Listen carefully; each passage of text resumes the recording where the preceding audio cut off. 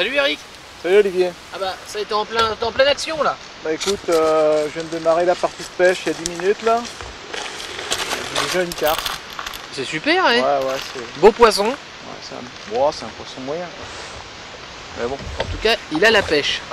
Il s'est bien battu celui-là. Allez, Super, bien joué. Bon bah ça va être une grande journée qui s'annonce. là. j'espère, Génial. j'espère. Bon tu pêches à l'anglaise aussi aujourd'hui? Ah bah justement, je viens de voir parce que là j'ai un souci. là. Qu'est-ce qui t'arrive On commence. Alors, écoute, j'ai plein de frondes. Ouais. J'aimerais bien pêcher à peu près entre 25 et 30 mètres. Et en fait, tu vois, j'aimerais bien que tu puisses me conseiller quelle fronde utiliser. Parce que là, D'accord. j'en ai acheté plusieurs, mais je t'avoue, je suis un peu perdu. Bah effectivement c'est. Ça paraît compliqué mais en fait c'est très simple. Attends, je pose ma canne et je vais t'expliquer ça calmement. Voilà. Le poisson est dans la bourriche. Bon, c'est sympa comme tout. Bon, donc moi aujourd'hui j'utilise la fronde avec l'élastique bleu. D'accord? D'accord. Pourquoi j'utilise l'élastique bleu? Parce que je sais qu'avec cet élastique, les boules que je vais mettre dans le godet vont aller à environ entre 30 et 40 mètres. D'ailleurs, toutes les distances euh, respectives par rapport aux couleurs d'élastique sont indiquées sur le packaging. Donc, on sait que pour pêcher à 30-40 mètres, il faut un élastique bleu. Pour aller à une distance supérieure, tu prends un élastique rouge. Comme tu peux le constater, son diamètre est supérieur. Alors, montre-moi ça. Voilà.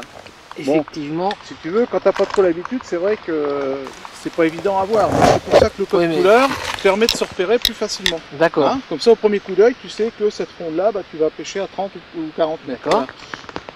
Et après, quand tu, prends, tu pêches vraiment à grande distance, mais ça, c'est quand tu auras un peu de métier, parce que c'est plus on pêche loin, plus c'est difficile. hein. La fronde avec l'élastique orange, où là, tu peux aller de vers environ à 50 mètres. hein. Donc, la fronde, elle est composée d'une fourche métallique. D'accord. L'avantage de la fourche métallique, c'est qu'avec par rapport à la tension, elle va pas se déformer, elle va rester bien, bien droite. Tu as au cul de la fourche métallique euh, un trou de façon à insérer le poignet de force, La poignée de Hein force, oui, tout à donc fait. le poignet de force. Après, tu as, comme tu vois, les émerillons rolling. Alors, ça c'est très très important.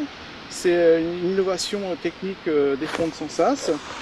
Ton émerillon rolling évite que ton- que ton élastique se torsade euh, à force d'amorcer. Parce que si tu n'as pas d'émerillon, tu as souvent le godet qui passe comme ça devant.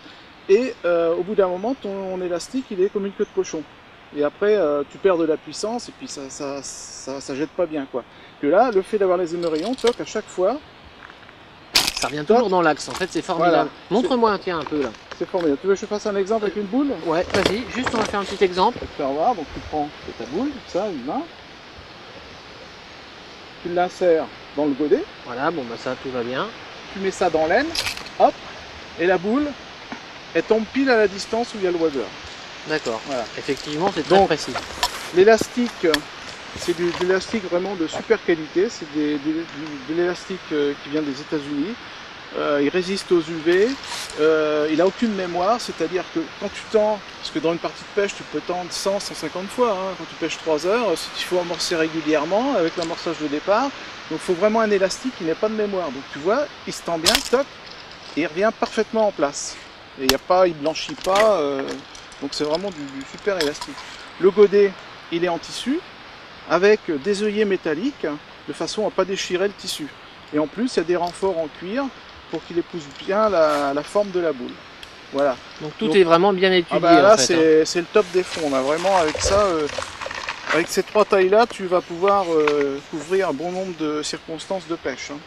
Donc l'élastique bleu, élastique rouge, élastique orange, avec un godet plus gros, puisque là, tu es censé mettre des boules un peu plus grosses pour aller encore plus Encore loin. plus loin. Bah écoute, moi je pense que c'est très clair. Ouais. Tu avais peut-être quelque chose à Oui. ajouter Alors, il y a aussi celle-ci qui est intéressante, c'est la fronde réglable. Donc, cette fronde, il y a une tresse qui passe dans l'élastique. D'accord. De cette façon, tu règles ta fronde. hein, tu vois ton élastique qui se déroule, D'accord. euh, la tresse se déroule, pardon. Et là, tu es en tension et tu es bloqué. Donc tu peux pas aller plus loin. Parce que ce qui est important à l'anglaise, c'est de jamais mettre les boules plus loin que le flotteur. Il faut toujours, quand tu es en tension optimale, que ta boule tombe soit sur le flotteur, soit légèrement devant. Comme ça, t'as pas de questions à te poser. Là, tu vois, tu tends Et t'es toujours à bonne distance. et tu es toujours à la bonne distance. Je t'entendais parler tout à l'heure justement de l'importance. Tu. Et c'est vrai que. Tac, ça t'es bloqué automatiquement. Voilà. Ok, bah écoute, moi ce que je te propose, je vais te laisser pêcher tranquillement. Oui. Je vais pas t'ennuyer plus longtemps. Non, non, bah. Mais en tout cas, je te remercie parce que ça, tout est vraiment très clair. C'est vraiment parfait. Eric, je te souhaite euh, bonne pêche, bah, comme aussi, on dit par chez hein. nous. Pêche bien. hein. Hein, et, puis, et puis merci pour toutes ces explications. Allez. À tout à À l'heure. tout à l'heure, Olivier.